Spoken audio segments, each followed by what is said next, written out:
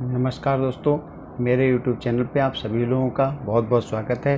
दोस्तों, आज मैं आपके लिए एक बहुत ही छोटा और बहुत ही यूज़फुल वीडियो लेके आया हूँ।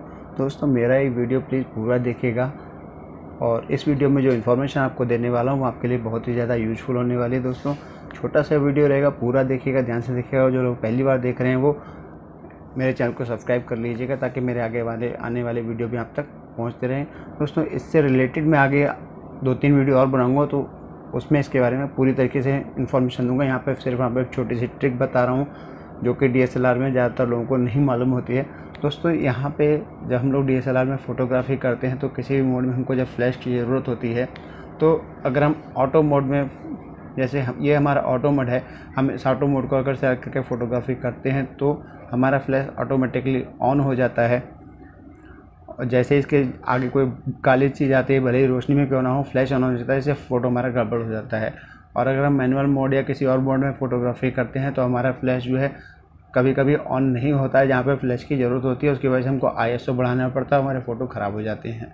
दोस्तों, इसके लिए, इन सब चीज़ों से छुटकारा पाने के लिए आपको एक बहुत ही अच्छी ट्रिक बताने वाला हूँ कि हमको इसमें मैनुअल फ्लैश कैसे ऑन कर सकते हैं डीएसएलआर में।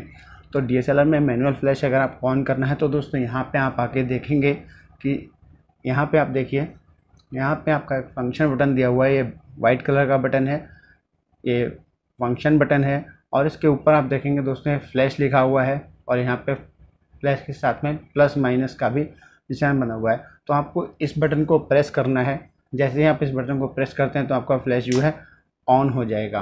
दोस्तों फ्लैश ऑन हो जाता है, जब रिक्वायर्ड नहीं है तो इस फ्लैश को आप ऐसे करके बंद कर दीजिएगा, लेकिन फ्लैश को कभी भी जब आपको ज़रूरत है तो हाथ से खींच के ओपन करने की कोशिश ना कीजिए, क्योंकि अगर इसको हाथ से करेंगे तो फ्लैश आपका ख़राब हो जाएगा।